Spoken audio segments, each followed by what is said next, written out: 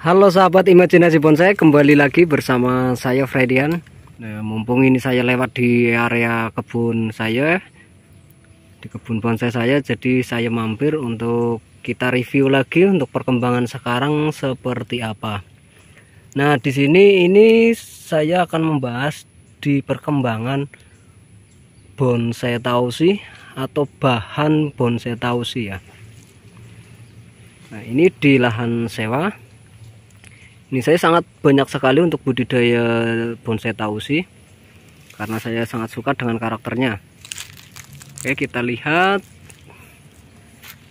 satu persatu dari sini. Mungkin tidak semua karena di sini saya untuk tausinya ada 200an lebih. Nggak selesai kalau kita bahas semua atau kita review semua.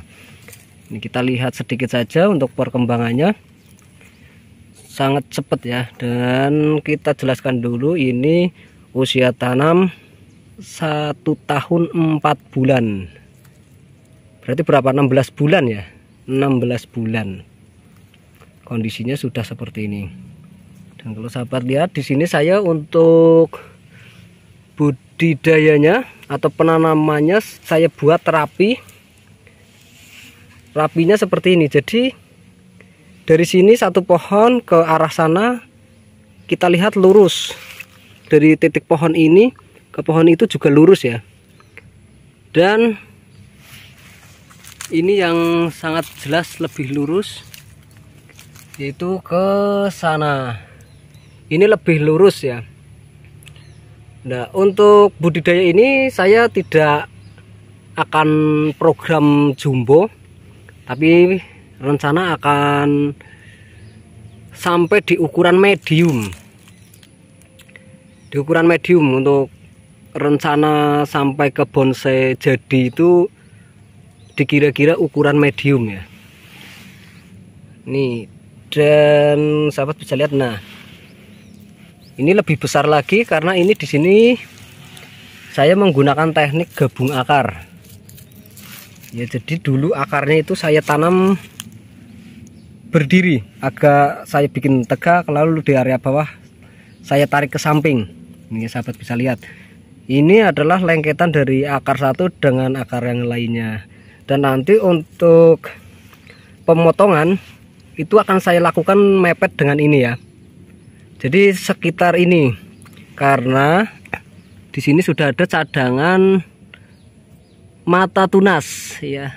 Semoga saja nanti sesuai harapan ketika kita potong di sini dan nanti bisa muncul tunas di sini dan di sebelahnya lagi. Nah rencana ini sudah siap untuk kita cangkok dulu untuk bagian atasnya. Tentunya akan saya lakukan cangkok biar nggak sayang ya buat kita budidaya lagi. Nah langsung semuanya sekaligus ya. Nah jadi karena ini penanamannya penanamannya ini saya bikin jaraknya itu berdekatan sekitar satu pohon dengan pohon yang lainnya itu sekitar 130 cm jaraknya ya. Nah maka nanti ketika dilakukan pencangkokan nah ini ada ranting yang kering. Pas pencangkokan itu diusahakan bisa bareng supaya tunas-tunas baru nanti yang tumbuh itu tidak terpengaruh ketika kita cangkok cangkokannya sudah tumbuh nah otomatis kan dipotong. Kalau pohon sebelahnya lagi belum dipotong atau masih dipertahankan maka nanti akan mengganggu tunas baru yang muncul. Karena masih terlalu rindang dari pohon sebelahnya yang belum dipotong. Jadi usahakan biarpun masih kecil karena ini di sini rencana saya ke ukuran medium ya maksimal medium buat maksimalnya medium. Jadi bisa ada nanti ada yang mamai ataupun small ya. Yang penting medium ke bawah jadi tidak memerlukan ukuran yang lebih besar.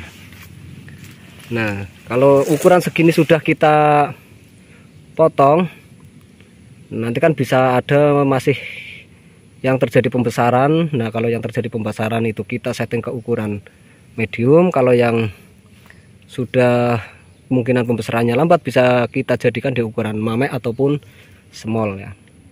Itu lebih cepat. Jadi usia satu nanti rencana satu setengah tahun tepat sudah saya lakukan pencangkokan. Ya biar mudah ngitungnya semuanya akan saya lakukan pencangkokan. Nah itu kalau kita satu pohon kita cangkok satu saja ya. Misal satu cangkokan saja. Kalau ini saya punya 200 pohon berarti kita sekaligus punya cangkokan ya 200 cangkokan. Itu kalau dengan hitungan satu pohon kita cangkok satu. Tapi kalau satu pohon kita cangkok bisa misal nih ya. Sahabat bisa lihat. Nah kalau kita cangkok satu kemungkinan bisa kita cangkok di sini ataupun di sini.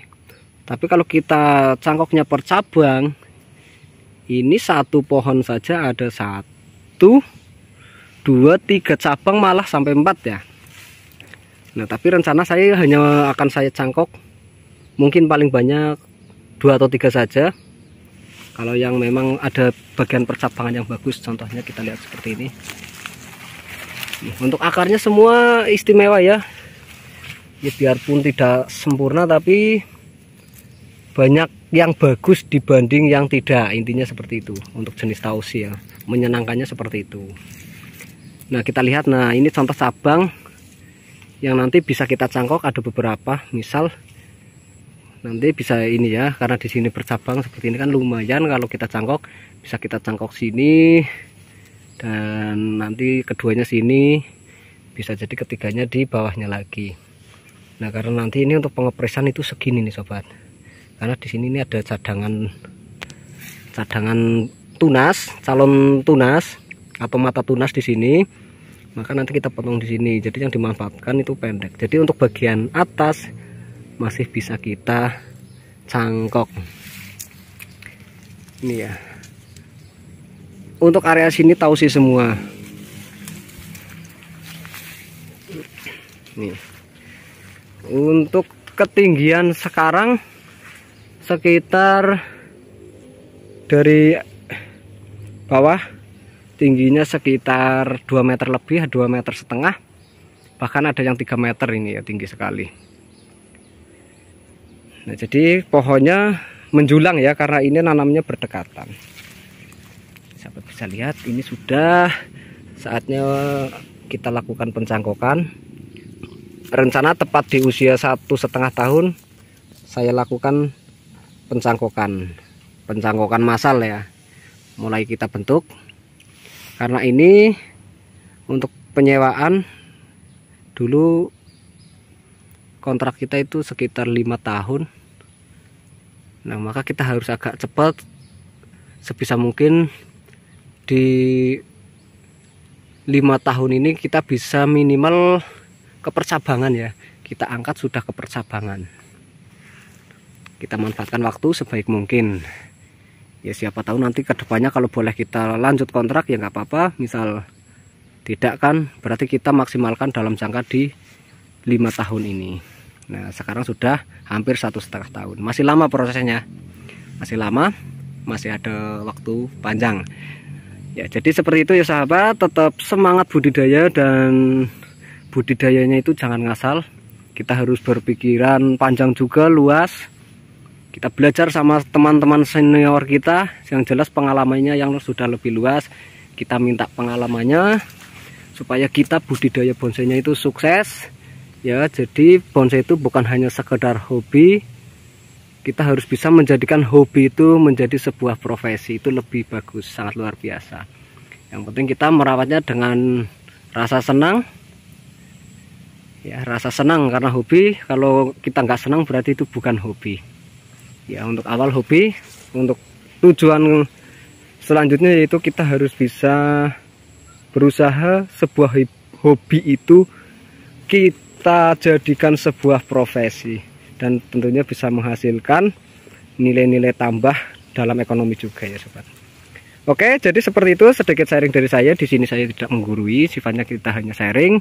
Semoga kita semua sukses dalam bertani bonsai atau berbudidaya bonsai tetap semangat ya PBBI Jahema Jaya hebat maju.